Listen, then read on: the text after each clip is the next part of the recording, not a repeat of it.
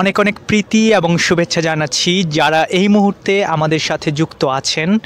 তাদের সবাইকে অনেক অনেক শুভেচ্ছা জানাচ্ছি। সাথে আছি আমি শামীম মাহমুদ। আমরা সম্প্রচার করছি অমর একুশে গ্রন্থমেলার মাঠ থেকে এবং দাড়িকমা প্রকাশনী একশো আটচল্লিশ নম্বর স্টলের সামনে থেকে। আপনারা জানেন আমাদের অমর একুশে গ্রন্থমেলা, লেখক, পাঠক এবং প্রকাশকদের মিলন মেলা। তো এই মিলন মেলা পরিপূর্ণ হয়ে যায়। আরও হচ্ছে ব্রডকাস্ট সম্প্রচারের মধ্য দিয়ে। তো আমরা হচ্ছে আজকে সেই সম্প্রচার করছি। তো আমরা হচ্ছে আজকে যে লেখকের সাথে পরিচয় হব আপনারা হয়তো তাকে অনেকেই চেনেন আবার চেনেন না। তো আমরা লেখকের কাছে যাচ্ছি এবং তার প্রথম একটি বই এবার বইমেলায় এসেছে এবং এই বইটি বইমেলায় প্রচণ্ড সাড়া জুগিয়েছে। শুধু বইমেলায় নয়, আমরা রকমারিতেও দেখতে পাই প্রি অর্ডার ক্যাটাগরিতে অষ্টম স্থানে রয়েছে। আমরা সরাসরি লেখকের কাছে চলে যাব। তো সৈয়দুল হক ভাই, আপনার এই প্রথম বইটি অনেক বেশি সাড়া পাচ্ছে বইমেলায় আমরা দেখতে পাচ্ছি। তো এটি আপনার অনুভূতিটা কেমন? অনুভূতি বলতে প্রথম বই হিসেবে একজন লেখকের সবচেয়ে বড় যেটা আশা তাকে, চাওয়া পাওয়া তাকে নতুন বই আসলে এটা সবার হাতে হাতে পৌঁছে যাবে, অনেক সাড়া ফেলবে, পাঠকরা পড়ে আনন্দ পাবে হ্যাঁ সাহিত্যের যে একটা আবেদন থাকে সাহিত্যের আবেদন কি? মানুষ পড়ে আনন্দ পাওয়া। এই আবেদনের জায়গাটা পাঠকের কাছে তৈরি হবে। সেই জায়গা থেকে এখনও পর্যন্ত মেলায় আসছে, সম্ভবত দুই দিন হলো বইটা। এখনও পর্যন্ত যেটুক সাড়া দেখলাম, রকমারিতে তো মাসাল্লাহ প্রচুর সাড়া দেখলাম। সেই জায়গা থেকে আসলে আমি খুবই খুশি এবং আরও এটার ব্যাপক সাড়া পড়বে বলে আশাবাদী আর কি। আচ্ছা তো হজরত মোহাম্মদ সাল্লাহ সাল্লামের পুরো জীবনীটা নিয়ে আপনি বইটি লিখেছেন এবং আমরা দেখতে পাই যে বইটিতে হচ্ছে প্রশংসিত বইটির নাম দিয়েছেন। তো এই নামের পেছনে আসলে মানে যুক্তিটা কীরকম হতে পারে? প্রশংসিত শব্দটা দিকে খেয়াল করলে আসলে যুক্তিটা খুব সহজ হয়ে যায়। আমাদের নবীর নাম হচ্ছে হজরত মোহাম্মদ সাল্লাহ আলি ইসলাম এই যে মোহাম্মদ, এটার বাংলা প্রতিশব্দ হচ্ছে কিন্তু প্রশংসিত। প্রথমে কিন্তু আমার এই বইটার নাম প্রশংসিত রাখিনি। প্রথমে রাখতে চেয়েছিলাম কৃপা সিন্ধু। তো ওই জায়গায় আমার মনে হলো মীর মোশারফ হোসেনের একটা বই আছে, কারবালার ঘটনাকে কেন্দ্র করে। এটা হচ্ছে বিষাদ সিন্ধু। সেই বিষাদ সিন্ধুর সাথে একটা সামঞ্জস্যতা তৈরি হচ্ছিল।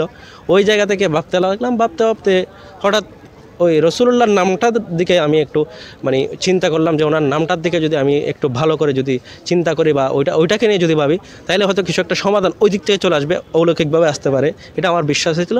ওইটা নিয়ে ভাবতে ভাবতে হঠাৎ চিন্তা আসলো, এটার বাংলা প্রতিশব্দ করে দিলে হয়তো হয়ে যাচ্ছে। তখন মনে হলো, না, এটাই তো ঠিক আছে, প্রশংসিত নামে আসলে কোনো বই আগে কখনো বের হয়নি। ওইখান থেকে আর আসলে মূলত এই আর কি নামকরণ। আচ্ছা। তো আরেকটা বিষয় হচ্ছে হজরত মোহাম্মদ সাল্লাহ সাল্লামের জীবনী, এটা আসলে কিন্তু মানে কাজটা করা অনেক ডিফিকাল্ট এবং খুবই সেন্সিটিভ সো মানে আমরা দেখতে পাই এই অসাধ্য বলব আমরা, এরকম একটি কাজ আপনি করেছেন। তো যখন আপনি কাজটি করেছেন, তখন আপনার মানে কোনো ভয় করেছে কিনা যে হ্যাঁ আমি করতে পারব কিনা? এরকম কোনো আশঙ্কা হয়েছে কিনা? আসলে ওই যে ভূমিকায় যে কথাটা লিখেছি, ওইটা, ওইটাকে একটু যদি বলি, ওটা হচ্ছে আমি আজ থেকে প্রায় চার বছর কি, চার, সাড়ে চার বছর হবে। চার বছর আগে তখন আমি হুমায়ুন আহমদের একটা বই পড়ছিলাম। ওটা হচ্ছে, বইটা হচ্ছে বাদশাহ নামদার। ওটা সম্রাট হুমায়ুনকে নিয়ে লেখা। তো ওটা- পড়ার সময় আমার কাছে একটা, আগেও তো অনেক উপন্যাস পড়েছি, গল্প, এগুলো তো অনেক পড়েছি, কিন্তু ওইটা পড়ার সময় আমার ভিতরে একটা বিরাট অনুভূতি কাজ করল। ওটা হচ্ছে ইতিহাসও কিন্তু সম্রাট হুমায়ুন সম্পর্কে আমরা পড়েছি, আমি পড়েছি। তো ওইখানে পড়ার সময় যে হুমায়ুনকে পেয়েছি, সম্রাট হুমায়ুনকে পেয়েছি এবং হুমায়ুন আহমেদের বাদশাহ নামদারের মধ্যে যে হুমায়ুনকে পেয়েছি, দুইটার মধ্যে আসলে বিশাল একটা তফাৎ আমি লক্ষ্য করলাম। সেটা হচ্ছে ইতিহাস পড়ার সময় আমরা অনেক সময় ক্লান্ত হয়ে যাই, অনেক সময় বিরক্ত হয়ে যাই। তত্ত্বের বিশাল সমাবেশ দেখে আমরা বড়কে যাই, চিন্তায় পড়ে যাই। এই সমস্ত জায়গা থেকে কিন্তু হুমায়ুন আহমেদ যেটা করছেন, বাদশাহ নামদারে ওইটা উপন্যাসে গিয়ে ওখানে ওটা আমি যে যেটা বলেছি, মধুর চাক বলেছি। হুমায়ুনের মধুর ভাণ্ড বলে উল্লেখ করেছি ওটাকে। তো সেই জায়গা থেকে ওইটা পড়ার সময় মাত্রাতিরিক্ত আনন্দ পাচ্ছিলাম এবং ওটাতে যে ঢুকছি, ওটা থেকে বের হতে পারছিলাম কোনো মতে। তো আমার অনু মনে মনে আসলো যে যদি উনি যদি বাদশাহ নামদার হন, হুমায়ুন সম্রাট হুমায়ুন যদি বাদশাহ নামদার হন উনি তো তেমন খুব বেশি না, এরকম বাচ্চা তো অনেক আসছে ইতিহাসে অনেক আছে। উনি শেষ পর্যন্ত নিজের সিংহাসনটা রক্ষা করেছিলেন, বিভিন্ন উত্থান পতনের মধ্যে দিয়ে গেছেন। শেষ পর্যন্ত রক্ষা করেছেন। ওই জায়গা থেকে উনি উনি যদি বাদশা বাদশাহ নামদার হন, তাহলে আমাদের নবী হজরত মোহাম্মদ সাল্লাহ ইসলাম উত্থান পতন বলব না, শুধু উত্থানের দিকে গেছেন। ওনার জীবনে অনেক ক্রেডিয়ার ছিল, অনেক কিছু ছিল, অনেক জটজপটা ছিল, কিন্তু উনি এমন একটা সমাজ বিনির্মাণ করে দিয়েছেন, স্বয়ং ইসলামটাকে মানুষের মধ্যে ছড়িয়ে দিয়েছেন। উনি আসলে কি হবেন? এই ধরনের একটা অনুভূতি কাজ করছিল। তো এই অনুভূতি থেকে মূলত এই বই লেখার সংকল্প। তখন থেকে শুরু, পড়ালেখা শুরু করলাম, আস্তে আস্তে আস্তে আস্তে বছর খানিক গেল। তারপর শুরু করলাম। এই আর কি। তারপর হচ্ছে প্রায় আজকে চার বছর। প্রায় এই দীর্ঘদিনের একটা সাধনার বিষয়। আপনি যেটা বলছিলেন যে এটা দুঃসাধ্য বিষয়, এটা আসলে শুরু যখন করছিলাম তখন মনে হয়েছিল দুঃসাধ্য, কিন্তু আমি লেগেছিলাম। ওই লেগে থাকার ফল যেটা হয়েছে, শেষ পর্যন্ত আমি আলহামদুলিল্লাহ শেষ করতে পেরেছি। এজন্য আল্লাহর কাছে অনেক শুক্রিয়া জ্ঞাপন করছি, আলহামদুলিল্লাহ। যাক, আরেকটা বিষয় হচ্ছে, আমরা দেখতে পাই যে যখন ইতিহাস এবং আপনি বলছিলেন যেটা যে ইতিহাস এবং ইতিহাস আশ্রিত কোনো উপন্যাস তো এই দুইটার মধ্যে মানে একটা পার্থক্য থাকে। কারণ হচ্ছে ইতিহাস একদমই সত্য নির্ভর হয় আবার উপন্যাসে হচ্ছে ইতিহাসকে আশ্রয় করে লেখকের হচ্ছে একটা কল্পনা শক্তি থাকে।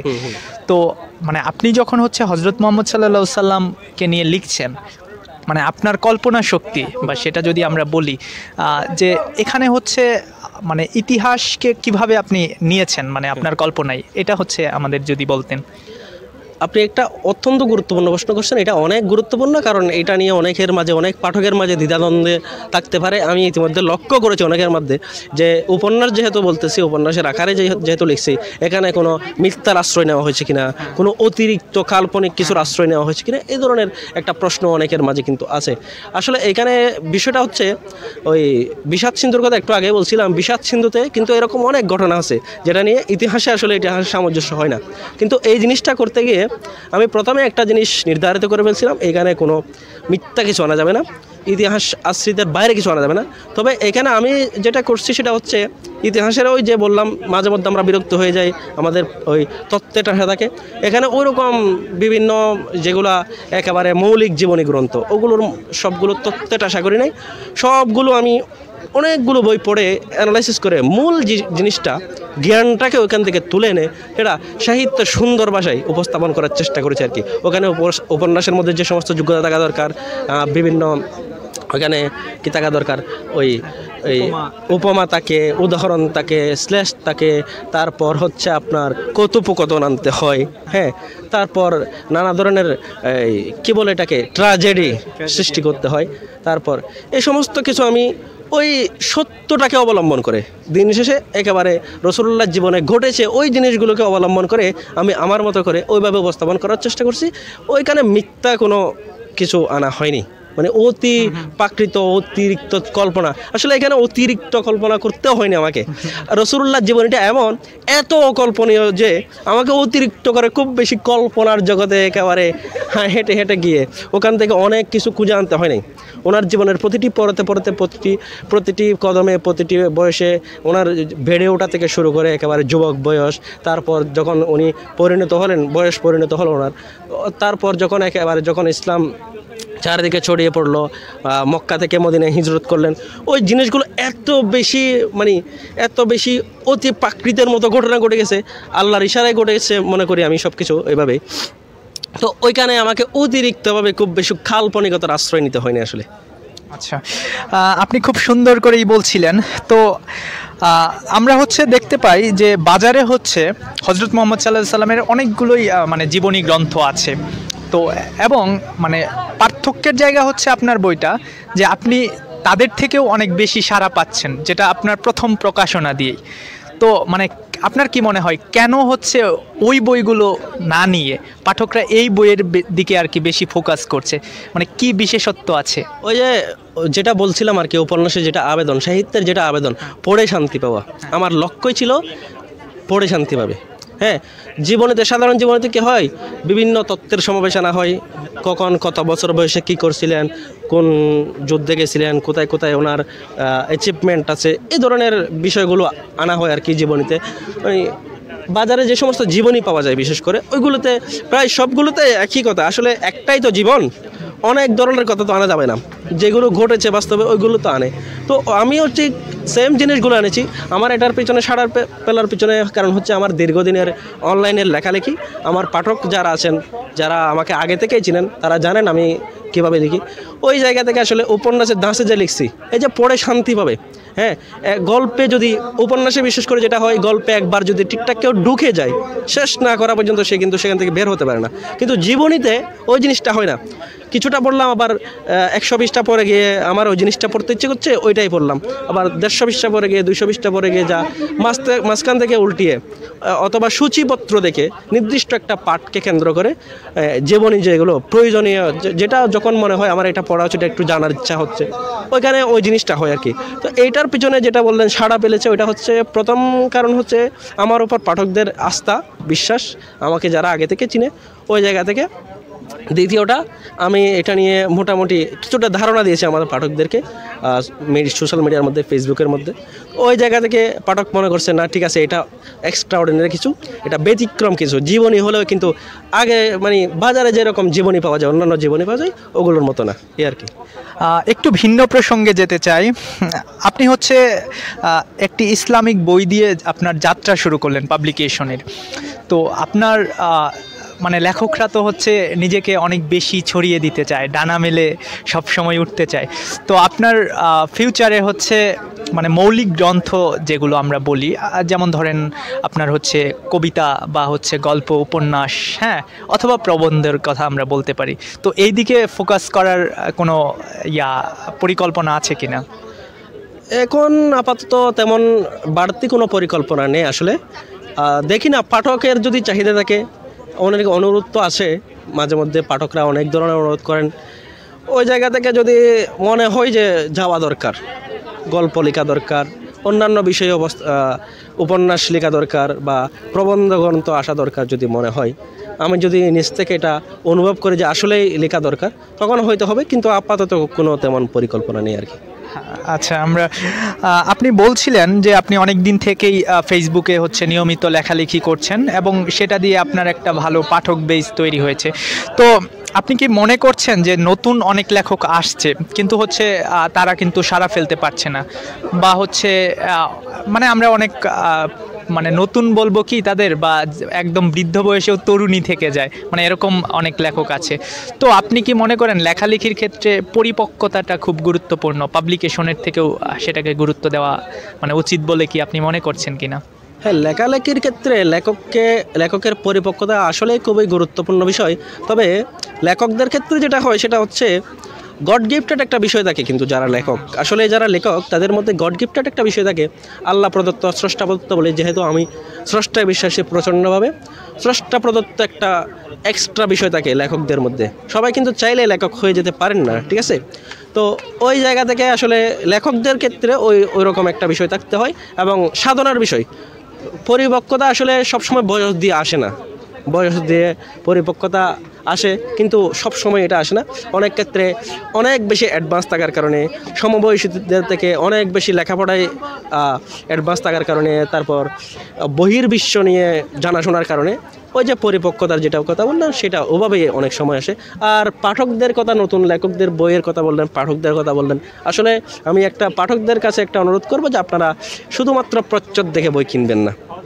এখন একটা মানে অপসংস্কৃতি বলব এটাকে আমি।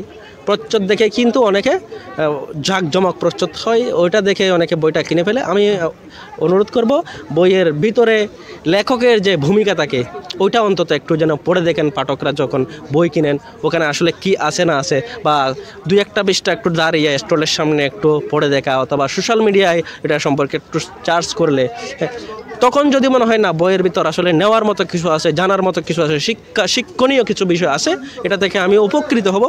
এভাবে বইটা নেওয়া উচিত। শুধুমাত্র প্রচ্ছদ দেখে বই নেওয়া উচিত বলে মনে করি না আমি। যাক, আপনার সাথে কথা বলে খুবই ভালো লাগছিল। তবে আমরা বইয়ের প্রসঙ্গেই আরেকটা প্রশ্ন করতে চাই। আমরা দেখি যে হজরত মোহাম্মদ সাল্লাহ সাল্লামের এই জীবনী নেওয়ার জন্য আপনার হিউজ একটা শ্রম দিতে হয়েছে পড়ার পেছনে। তো এখানে সব থেকে গুরুত্বপূর্ণ ব্যাপার হচ্ছে বই সিলেকশন একটা ম্যাটার করে। কারণ হচ্ছে হজরত মোহাম্মদ সাল্লাহ সাল্লামকে নিয়ে এত বেশি গবেষণা হয়েছে এবং ওনার জীবনী নিয়ে এত বেশি গবেষণা হয়েছে। তো এবং বেশ কিছু বিষয় নিয়ে কিন্তু অনেকে দ্বিমত পোষণ করে। বিভিন্ন ঘটনা রয়েছে। তো মানে আপনি এসব বিষয়কে কীভাবে এনেছেন আপনার বইতে? অথবা আমি যদি আরেকটু বলি যে আপনি কোন রাইটারগুলোকে মানে পড়ার জন্য নিয়েছেন? কারণ হচ্ছে আমরা দেখতে পাই, আমি যেমন হজরত মোহাম্মদ সাল্লাহ সাল্লামের উপর একটা ছোট লেখা পড়েছিলাম, অ্যান্থনি নটিং নামে একজন রাইটারের হ্যাঁ? তো ওনারাও কিন্তু লিখেছেন। তো মানে আপনি হচ্ছে কোন দিকটা বা কোন ধরনের রাইটারদেরকে আপনি ফোকাস করেছেন? এক্ষেত্রে আমি প্রথমত ফোকাস করছি হচ্ছে যেগুলো হচ্ছে একেবারে মৌলিক গ্রন্থ। আজ থেকে আটশো বছর আগে, এক হাজার বছর আগে যে গ্রন্থগুলো রসুল্লাহ সাল্লাহ সাল্লামকে নিয়ে হয়েছে, যেমন সিরাতে ইবনে ইসহাক আছে, সিরাতে ইবনে হিসাম আছে, তারপর আল মাওয়াহিবুল লদুনিয়া আছে, তারপরে ইসলামের ইতিহাসের উপর একদম ঐতিহাসিক একটা ভালো গ্রন্থ হচ্ছে আল বিদায়া ওয়ান নিহায়া তারপর এ ধরনের আরও অনেকগুলো মৌলিক গ্রন্থ অনুবাদ, বাংলা অনুবাদ আছে। তারপর হচ্ছে বাংলা ইসলামিক ফাউন্ডেশনের একটা বিশাল একটা কাজ আছে, সিরাত বিশ্বকোষ একটা কাজ, চোদ্দ খণ্ডের। ওইটা নিয়েছিলাম এবং আরও অনেকগুলো, প্রায় তিরিশ পঁয়ত্রিশ চল্লিশটা মতো বই আমি সব মিলিয়ে পড়েছি আর কি এটার ক্ষেত্রে। ওই সবগুলোকে সমন্বয় করে অনেক ওই আপনি যেটা বললেন বিরোধের কথা, অনেক ঘটনার বিরোধ আছে। ওগুলোকে আসলে সত্যায়ন, আসলে কোনটা আসলে ঠিক, কোনটা বেঠিক, এই সমস্ত বিষয় বিচার, বিবেচনা করে গবেষণার মাধ্যমে চূড়ান্ত আসলে কোনটা, ওই জিনিসটা বের করার চেষ্টা করেছি এবং সেটাই আমি আমার বইয়ে নিয়ে আসার চেষ্টা করেছি আর কি। বইটা নিয়ে অনেক কথাই আমরা শুনছিলাম। তো একটা বিষয় হচ্ছে আমাদের মানুষ যারা আমরা যারা আছি, সবার জন্য সিরাত কেন গুরুত্বপূর্ণ বা এটা পড়াটা কেন গুরুত্বপূর্ণ বলে আপনি মনে করছেন? এটা আরেকটা বিষয় হচ্ছে যে আমাদের হচ্ছে সব ধর্মের মানুষেরই কি সিরাত পড়াটা গুরুত্বপূর্ণ কিনা? আপনি কি মনে করেন? আচ্ছা এখানে দুইটা প্রশ্ন। সবার আসলে প্রথম যদি বলি, মুসলমানদের কেন সিরাত পড়া দরকার? দেখুন, মুসলমান আমরা আজ আজ যে আমরা মুসলমান দাবি করি, এটা পেছনে হচ্ছে নবী মোহাম্মদ সাল্লাহ আসলাম যদি দুনিয়াতে না আসতেন, তাহলে আমরা আসলে মুসলমান আমাদের দাবি করা সম্ভব হতো না।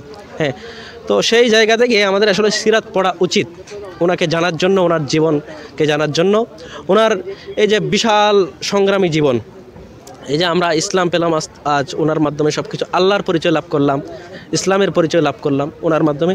সেই জায়গা থেকে পড়া উচিত। আরেকটা হচ্ছে, আমরা যারা মোটামুটি পাঠক আছি, আমরা যারা কোরআন পড়ি, আমরা যারা হাদিস পড়তে আগ্রহী, আমরা যারা অন্যান্য ইসলামিক বিষয়ে যারা আগ্রহ কাজ করে, আমাদের আগ্রহবোধ করে, আমরা এই সমস্ত বিষয় যারা জানতে চাই, তাদের আসলে বেশি করে সিরাতটা আসলে খুব বেশি পড়া উচিত। কেননা, আপনি দেখবেন রসুলের এই যে জীবনের দীর্ঘ তেইশ বছর যাবৎ কিন্তু কোরআন নাজিল হয়েছে। ধাপে ধাপে, একসাথে কোরআন আসে নাই কিন্তু। ধাপে ধাপে ঘটনার প্রেক্ষাপটে হ্যাঁ ওনার ওনার কোন সাথে কখন কি ঘটতেছে, কখন যুদ্ধ হচ্ছে, কখন উনি পারিবারিকভাবে মিশছেন, কখন অন্যান্য মানুষদের সাথে উনি মিশতেছেন হ্যাঁ কখন কোন বিধান আসছে। এই বিষয়গুলো আসলে সিরাত না পড়লে জানা যায় না কিন্তু। কোরআন বুঝতে হলে আমি মনে করি কোরআন যদি কেউ যদি ভালো করে বুঝতে বুঝতে চায়, তার শুধু শুধু তাফসির গ্রন্থ পড়া তার জন্য যথেষ্ট নয়। সিরাত তাকে অবশ্যই পড়তে হবে। কেউ যদি কোরআন বুঝতে চায়, কেউ যদি হাদিস ঠিকঠাক করে ভাবে বুঝতে চায়, কেউ যদি ইসলামের অন্যান্য বিধিবিধান যদি একেবারে বিধিবিধানগুলো কেন বিধি আসে, এই বিধান কেন আসলো? যেমন মদ হারাম, কেন আসলো? নামাজ পড়তে হবে, কেন আসলো? এই যে বিষয়গুলা, এ কেন এরকম অসংখ্য কেনর উত্তর পাওয়া যাবে শুধুমাত্র সিরাত পাঠ করলে। সিরাত পাঠ না করলে কিন্তু এই সমস্ত সব কিছু আসলে ইসলামের সব কিছুই রসুল্লাহর সাথে রিলেটেড রসুল্লাহর সাথে সম্পর্কিত। আল্লাহ এক, এটা এটা এটা তো কিন্তু রসুল্লার সাথে সম্পৃক্ত। কীভাবে? এটা তো আবার অনেকে শিরিক মনে করতে পারে, কিন্তু কেন সম্পৃক্ত? আল্লাহ এক, এটা আমরা জানতে পারলাম কার মাধ্যমে। কে বলল আল্লাহ এক? এই যে সাফা পাহাড়ের ঘোড়ায় দাঁড়িয়ে যখন জিজ্ঞেস করেছিলেন মানুষদেরকে, আমি যদি বলি যে আজকে এই সাফা পাহাড়ের ওপর প্রান্তে যদি একটা বিশাল শত্রু বাহিনী তোমাদের আক্রমণ করছে এটা যদি বলি আক্রমণ করার জন্য তারা প্রস্তুত হয়ে আছে, এটা যদি আমি বলি, তোমরা কি সেটা বিশ্বাস করবে? হ্যাঁ আমরা অবশ্যই বিশ্বাস করব। কেননা আপনি হচ্ছেন আলামিন, আপনি কখনো আমাদের সাথে মিথ্যা বলেননি। আপনার কথা কেন অবিশ্বাস করব? তাহলে তখন রসুল্লাহ বললেন, তাহলে তোমরা জেনে নাও, একটা ভয়ঙ্কর শাস্তি রয়েছে। তোমাদেরকে আমরা একটা বিশাল ভয়ঙ্কর শাস্তি থেকে কি করছি? সতর্ক করছি এবং তোমাদের সবাইকে দাওয়াত দিচ্ছে, তোমরা সবাই আল্লাহ এক, এটা স্বীকার করে নাও। যদি এটা স্বীকার না করো, এটাকে যদি বিশ্বাস না করো, তাহলে কিন্তু একটা ভয়ঙ্কর আজাবে তোমরা পতিত হবে পরকালে গিয়ে। ওই জায়গা থেকে আমি কি করছি, তোমাদের সতর্ক করছি। এই যে বিষয়গুলা, আল্লাহ এক, এই বিষয়টার সাথে কিন্তু রসুল্লাহ সিরাতটা কিন্তু জড়িত। এজন্য বলছি রসুল্লাহ সিরাত আমার প্রশংসিত পড়বেন, ওরকম কোনো কথা নেই। এটা পড়তে পারেন প্রাথমিক গ্রন্থ হিসেবে। এই প্রশংসিত বইটা পড়তে পারেন। প্রাথমিক গ্রন্থ হিসেবে এটা আপনাকে ভাবনার জগতে নিয়ে যাবে বলে আমি বিশ্বাস করি। এটা আপনাকে রসুল্লাহর জীবনকে আরও গভীরভাবে আরও বিস্তৃতভাবে রসুল্লাহর জীবনকে জানার জন্য রসুল্লাহর জীবনের প্রতিটি পদক্ষেপ, প্রতিটি কর্মকাণ্ড সম্পর্কে আগ্রহী করে তুলবে বলে আমি মনে করি। এই বইটা পড়তে পারেন এবং শুধু এই বইতে সীমাবদ্ধ থাকতে বলব না, আমি বলব যত ধরনের সিরাত গ্রন্থ আছে, আমি অনেকগুলো সিরাত গ্রন্থের নাম বললাম। আপনি পড়তে পারেন, একের পর এক পড়তে পারেন, কোথাও কোনো বিষয়ে দ্বিমত থাকতে পারে। কিন্তু দিন শেষে আপনি যত সিরা তবে পড়েন না কেন, দিন শেষে রসুল্লাহকে আরও ব্যাপকভাবে, বিস্তৃতভাবে ওনার জীবনকে জানতে পারবেন। এটা আমি মনে করি। এই জন্য আসলে সিরাতটা আসলে পড়া উচিত। হ্যাঁ সত্যি লেখক বলছিলেন যে সিরাতটা আসলে সব মানুষের জন্য পড়া উচিত এবং আমাদের মুসলমানের তো একদমই। কারণ আমরা হচ্ছে রাসুলুল্লাহ সাল্লা সাল্লামের জীবন থেকে বা আমাদের ওপর যে যে নিয়ম কানুনগুলো নাজিল হয়েছে, সেগুলোও কিন্তু আমরা হচ্ছে কেন নাজিল হয়েছে? লেখক বলছিলেন সেটা আমরা সিরাত থেকে হচ্ছে আমরা জানতে পারি। তো আমরা হচ্ছে এবার একটু হচ্ছে একজন পাঠকের কাছে চলে যাব। আমরা পাঠককে দেখতে পাচ্ছি। সে হচ্ছে এই বইটি হচ্ছে সংগ্রহ করেছে। হ্যাঁ আপনার নামটা এবং পরিচয়টা যদি দিতেন। আচ্ছা আমি হচ্ছে জয়নাল আবেদিন, আমি ঢাকা বিশ্ববিদ্যালয়ে চতুর্থ বর্ষে আরও বিভাগে আছি। প্রশংসিত বইটা হচ্ছে, আসলে আমি আমার বন্ধু সৈদুল হক থেকে উনি লিখেছেন এবং আমি নিয়েছি আর কি বইটা।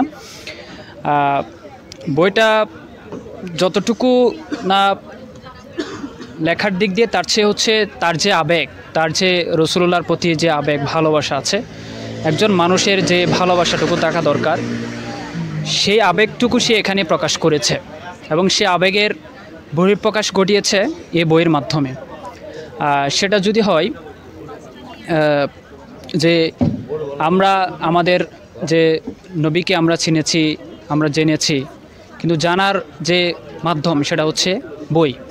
এবং সে বইয়ের মাধ্যমে একজন মানুষকে আমরা জানতে পারি। হ্যাঁ ও, উনি হচ্ছে বলছিলেন যে আমাদের হচ্ছে মানুষকে জানার জন্য অন্যতম একটা উপায় হতে পারে বই। তো আপনি হচ্ছে বলছিলেন যে লেখক আপনার বন্ধু। তো আমরা অনেক সময় দেখি যে বন্ধুর জন্য হচ্ছে হ্যাঁ আমি বইটা কিনি যেহেতু বন্ধু লিখছে। তো আপনি কি মানে এই জন্যই কিনলেন নাকি হচ্ছে অন্য কোনো কারণ আছে? বা আপনার এমন কোনো লেখকের অ্যাক্টিভিটিস আছে যেটা আপনাকে অনুপ্রাণিত করেছে? বা, আপনার হচ্ছে আমরা দেখি অনেকেই বন্ধু তারা বই নিয়ে পড়তে চায় না হ্যাঁ? তো মানে বিষয়টা কীরকম?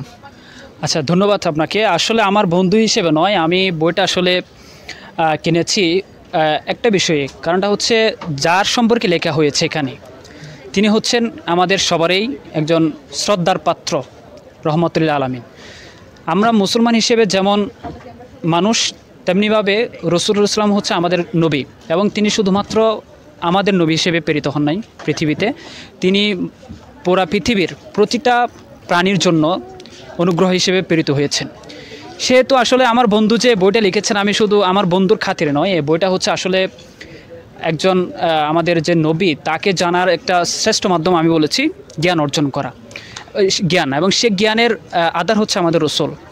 সে রসুলকে জানার জন্য আসলে আমরা তো কোরআন হাদিস যেমন আছেন, সে কোরআন হাদিস থেকে আসলে জ্ঞান অন্বেষণ করে, যারা সুন্দর করে সিরিয়ারটাকে হচ্ছে বাংলা ভাষায় প্রকাশ করতে পারেন। তার মধ্যে হচ্ছে প্রশংসিত বইটা অন্যতম, আমি বলতে পারি। কারণ হচ্ছে এই বইয়ে যেই কথাগুলো এসেছে, আমি আগে বলেছি যে এই কথাগুলো হচ্ছে লেখক আমাদের রসুলের সম্পর্কে যে অনুভূতিটা আছে, আমাদের রসুলকে যে তিনি যেভাবে উপলব্ধি করেছেন, সেই উপলব্ধির জায়গা থেকে তিনি সেই উপলব্ধিটা এখানে প্রকাশ করেছেন।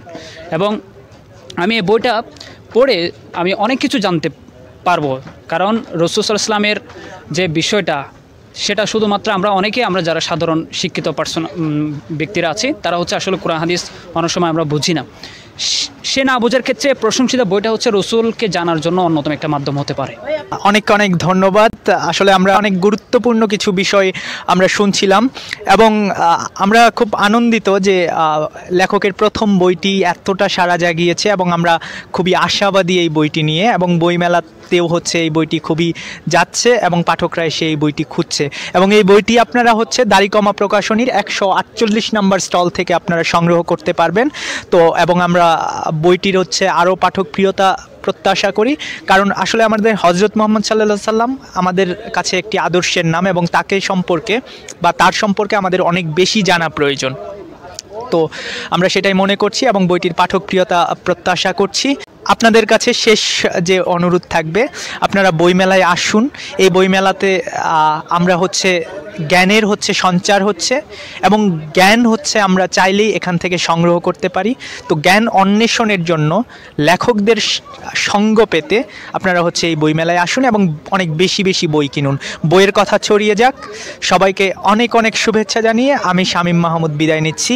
ধন্যবাদ। আল্লাহ হাফেজ।